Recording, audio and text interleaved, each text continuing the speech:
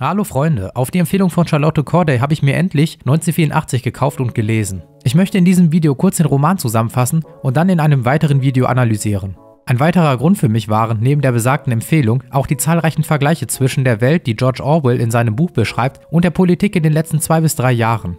Leider habe ich die Fähigkeit, so lange für ein Buch zu brauchen, dass ich, wenn ich am Ende angelangt bin, bereits vergessen habe, wie es angefangen hat. Witzigerweise kam das bisher bei zwei Büchern nicht vor und diese waren zufälligerweise vom gleichen Autor. Also irgendwie scheinen wir auf einer Wellenlänge zu sein. Dabei handelt es sich um die Bücher Kill Your Friends und Koma von John Niven. Die Aussprache seines Nachnamens ist wie immer ohne Gewähr. Falls da Interesse bestehen sollte, kann ich dazu gerne mal ein Video machen. Seine Bücher leben von Zynismus, vulgärer Sprache und der Gabe, die beschriebenen Situationen humorvoll, aber dennoch mit einer gewissen Ernsthaftigkeit und dem nötigen Realismus darzustellen.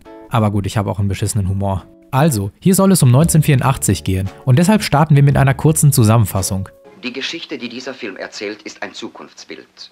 Aber keine technische Fabel mit Mondraketen und kreisenden Erdsatelliten, sondern das Abbild einer Zukunft, die morgen schon zur Wirklichkeit werden kann. Darum geht dieser Film jeden an. Und nichts wäre verhängnisvoller, als die Augen vor der uns drohenden Gefahr zu verschließen.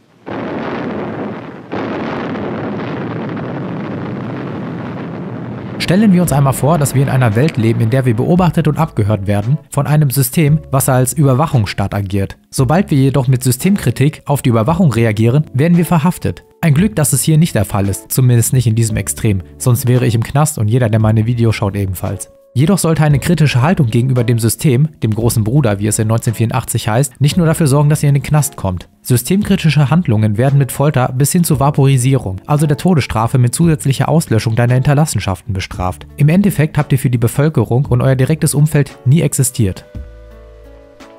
Big Brother is watching you, also der große Bruder überwacht dich. Dieses Konzept ist mittlerweile Kult geworden in unserem medialen Mainstream. TV-Sendungen, wie eben Big Brother, mit der ununterbrochenen Beobachtung der Teilnehmer in der Fernsehshow ist ganz normal in unserem Mittwochabendprogramm. Wir dürfen den 39-jährigen Protagonisten Winston Smith begleiten, der in London lebt. Die Welt, so wie sie im Roman erklärt ist im Jahr 1984, ist in drei Großmächte aufgeteilt. Ozeanien, zu dem Reich auch London gehört, Eurasien und Ostasien. Diese Mächte stehen im Konflikt zueinander und je nach Situation und Kontext führt Ozeanien einen Krieg gegen eine der beiden Großmächte. Dazu aber später mehr. Der Kapitalismus wurde abgeschafft und in Ozeanien, beziehungsweise hier konkret in London, herrscht der Sozialismus. Eine Form von Gleichgültigkeit, die dafür sorgt, dass Winston in seinem bescheidenen und überwachten Leben dahin vegetiert. So kann es passieren, dass er nicht mal mehr weiß, welcher Tag heute eigentlich ist. Er lebt in einem London der ständigen Überwachung und der berechtigten Angst, dass der Partei keine kritischen Gedanken, mögen sie noch so klein und unbedeutend sein, entgehen. Zudem befindet sich in jeder Wohnung ein Teleschirm, der zu einem als Überwachung dient und zum anderen wird die Bevölkerung pausenlos über diesen mit Propaganda beschallt. Hierbei handelt es sich bei dem Teleschirm um eine Art Fernseher, der von der Regierung kontrolliert wird. Somit können jederzeit Propagandabotschaften sowie individuelle Nachrichten an die jeweilige Person transportiert werden, ohne eine Möglichkeit, den Teleschirm manuell auszuschalten abschalten. Die dort laufende Propaganda äußert sich unter anderem in den Parteiparolen des Ministeriums für Wahrheit.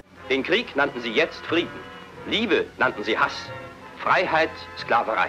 Winston selbst arbeitet eben für dieses Ministerium. Hierbei besteht sein Aufgabenbereich daraus, die Geschichte von Personen, welche zum Beispiel vaporisiert wurden, umzuschreiben oder gar zu vernichten. Das bedeutet, dass sämtliche Berichte über die vaporisierten Personen verändert werden müssen oder weitere Voraussagen, wie es im Buch heißt, auf die neue Geschichte angepasst werden müssen. Wir merken, dass die Geschichte vom Ministerium für Wahrheit jederzeit neu erfunden werden kann und wird. Beweise für die Existenz einer vaporisierten Person werden den Gegebenheiten angepasst. Eben bei dieser Arbeit findet findet Winston ein Foto von drei Anführern einer versuchten Revolution, die bei einer sogenannten Säuberungsaktion von der Partei ausfindig gemacht und vaporisiert wurden. Nun ist es Winstons Job, dieses Foto zu vernichten und sämtliche Geschichten umzudrehen, so dass nichts auf die Existenz dieser Revolutionsanführer hinweisen könnte. Jedoch beweist dieses Foto die Unschuld der besagten Anführer der gescheiterten Revolution. Bei Winston, der wie der Leser zu Beginn erfährt kritisch gegenüber der Regierung eingestellt ist und diese Haltung versucht zu verstecken, sorgt diese Erkenntnis für eine Bestätigung in seiner Einstellung. Diese Erkenntnis zeigte Winston, dass deren Geständnisse nicht der Wahrheit entsprachen und die Regierung die ihr kritisch gegenüber eingestellten Personen foltern würde, bis diese das gestehen, was sie gar nicht getan haben. Diese Aufnahmen sind es dann, welche gegen die Kritiker genutzt werden. Winston zerstört das Foto und damit den letzten Beweis für die Unschuld der Anführer der versuchten Revolution. Jedoch ist Winston nun das Problem aus Sicht des Ministeriums, da dieser sich als einzige Person daran erinnern kann, dass es dieses Foto jemals gegeben hat.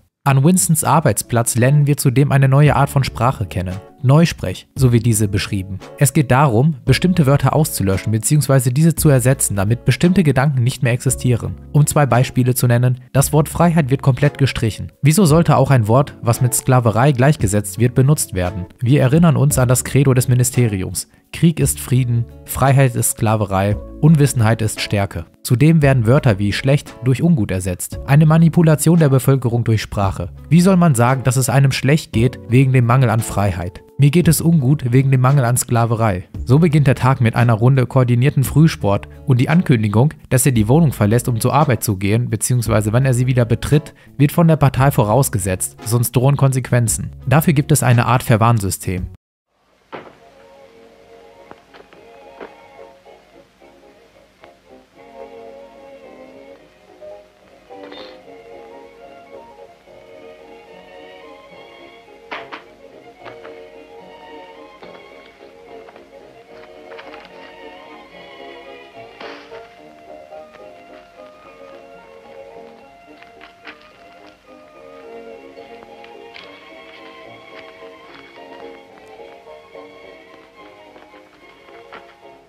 Und damit kommen wir zu meiner Lieblingsstelle im Buch, der koordinierte 2-Minuten-Hass. Dabei wird der Hass gegen politische Gegner gerichtet. Konkret sind dies Feinde der Regierung aus der Vergangenheit, sowie die Großmächte Eurasien und Ostasien, mit denen man sich je nach Situation im Krieg befindet.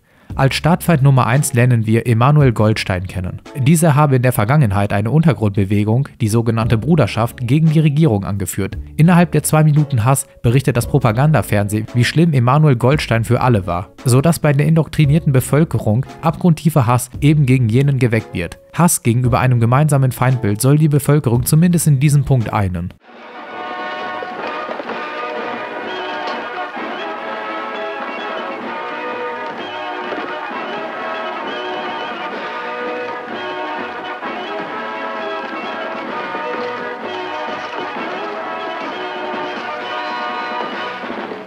Dabei werden die zwei Minuten Hass wie folgt beschrieben. Alle Arbeiter des Ministeriums, in dem auch Winston arbeitet, versammeln sich in einem großen Saal mit einer Leinwand. Auf dieser läuft ein Film über den versuchten Sturz des großen Bruders von Emanuel Goldstein und seiner Bewegung. Das Publikum wird hierbei euphorisch und pusht sich gegenseitig in Ekstase. Der Leser erlebt eine Radikalisierung im Schnelldurchlauf. Wüste Beleidigungen gegenüber Goldstein werden gegen die Leinwand geschrien. Er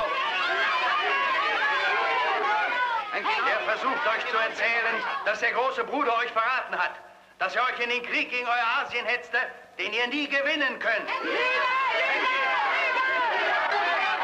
Zum Ende der zwei Minuten Hass fliegen sogar Gegenstände in Richtung Leinwand. Doch am Ende ist der große Bruder zu sehen und beschwichtigt die Situation. Im Saal kehrt Gelassenheit und Ruhe ein. Es wird von einem besagten Buch Goldsteins gesprochen, in dem all seine Theorien niedergeschrieben sind. Man könnte sagen, dass dies das verbotene Buch ist. Jedoch bleibt unklar, ob es Emanuel Goldstein jemals gegeben hat oder ob dieser nur Mittel zum Zweck ist, die indoktrinierten Bürger mit Hass gegenüber der seitens der Regierung als Hass geframten Kritik zu einen. Die Schaffung eines gemeinsamen Feindbildes. Während dieser zwei Minuten Hass fällt es Winston schwer, die gleiche Euphorie für den Hass gegenüber Goldstein aufzubringen, wie es die anderen Mitarbeiter des Ministeriums tun. Winston wirft deshalb immer mal wieder einen Blick nach links und rechts rüber, um zu sehen, ob andere Personen seine gespielte Authentizität erkennen würden. Dabei beobachtet er eine junge Frau und ist erschrocken, dass diese so aufging beim Ausleben des Hasses gegenüber Goldstein und der Feindseligkeit gegenüber dem großen Bruder. Seine Blicke wanderten weiter und er blickte in die Augen eines übergeordneten Parteimitgliedes. O'Brien starrte Winston an und Winston ihn. Ihre Blicke Blicke kreuzten sich nur wenige Momente und danach wandten sich O'Brien und Winston weiter dem Hass gegenüber Goldstein zu. Winston glaubte mit O'Brien einen Verbündeten in der Dystopie der Überwachungskultur gefunden zu haben. In der jungen Frau jedoch sah er eine verlorene Person, untergegangen im Sumpf des großen Bruders. Der 1984 beschriebene Hass ist beliebig austauschbar.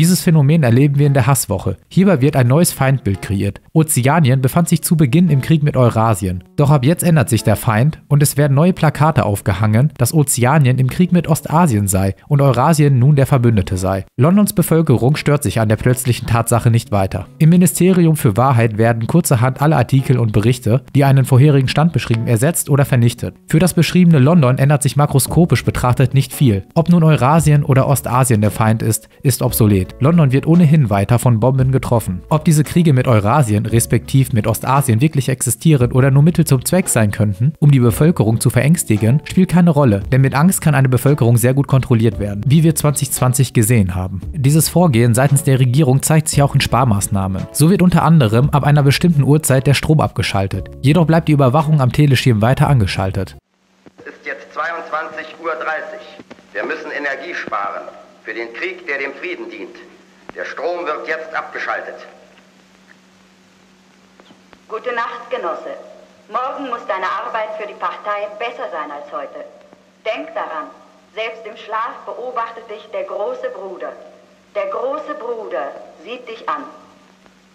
Um Winston herum verschwinden immer mal wieder Personen. Diese werden von der Gedankenpolizei mitgenommen und nie wieder gesehen. Wie bereits angesprochen, ist es verboten, kritische Gedanken gegenüber dem großen Bruder zu haben. Jedoch hat Winston ähnliche Gedanken und verfasst deshalb innerhalb einer vom Teleschirm nicht überwachten Ecke ein Tagebuch, in dem er seinen Gedanken freien Lauf lässt. Nieder mit dem großen Bruder. In den darauffolgenden Tagen begegnete er der jungen Frau aus dem Saal der zwei Minuten Hass mehrere Male. Ob sie wohl etwas von seiner kritischen Haltung gegenüber dem großen Bruder gemerkt hatte, war er nicht authentisch genug gewesen. Als sie stolperte und hinfiel, half Winston ihr aus Höflichkeit wieder auf und sie drückte ihm einen Zettel in die Hand mit einer klaren regierungskritischen Botschaft. Winston war nicht mehr allein. Julia, so der Name der jungen Frau, und Winston verabredeten und trafen sich heimlich in einem Hinterzimmer eines Antiquitätenladens in einem Gebäude im Arbeiterviertel. Dort glaubten sie sicher vor der Gedankenpolizei zu sein. Mit Winston zu schlafen sieht Julia als politischen Widerstand, da Sex in der Gesellschaft nur als reines Mittel zur Fortpflanzung genutzt werden sollte. Die anfängliche Bekanntschaft von Winston und O'Brien im Saal der zwei Minuten Hass entwickelte sich zu einer Untergrundbewegung gegen die Regierung. O'Brien lädt Winston zu sich ein und schaltet den Teleschirm aus. Als hohes Parteimitglied habe man gewisse Vorteile.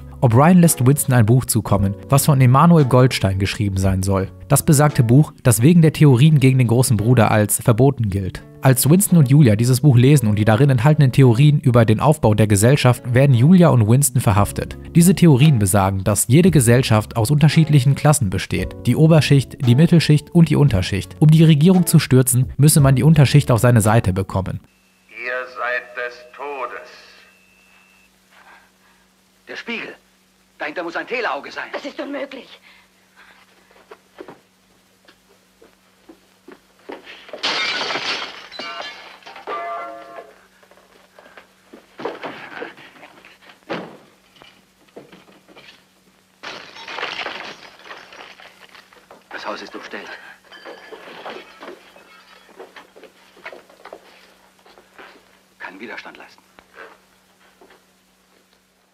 Ein klares Verbrechen, weshalb die Gedankenpolizei, gerufen von dem Besitzer des Antiquitätenladens, Winston und Julia mitgenommen hat. Ich habe Sie gewarnt, es würde hier nicht so friedlich sein, wie Sie sich wünschten.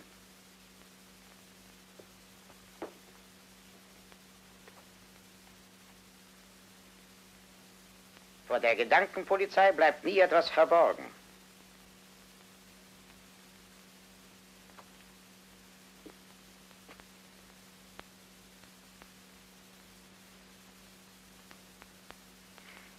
Abführen.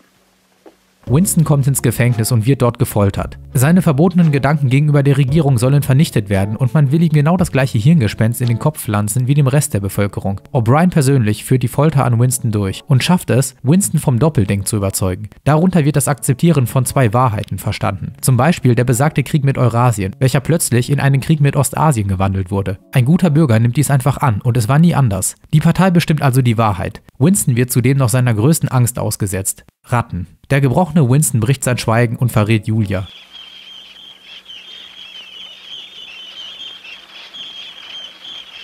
Nicht auf mich! Nicht auf mich! Hetzt ihr auf Julia! Mir ist es gleich, was ihr mit ihr macht! Hetzt ihr auf Julia! Nicht auf mich! Nicht auf mich! Nicht auf mich! Am Ende wurde also die Liebe zu Julia durch die Liebe zum großen Bruder ersetzt und Winston durch Folter indoktriniert. Und wir sind durch. Ich hoffe, euch hat diese grobe Zusammenfassung gefallen. Im zweiten Teil zu 1984 wird es dann eine Analyse geben mit Bezügen zu unserer heutigen Realität. Bis dahin, macht's gut.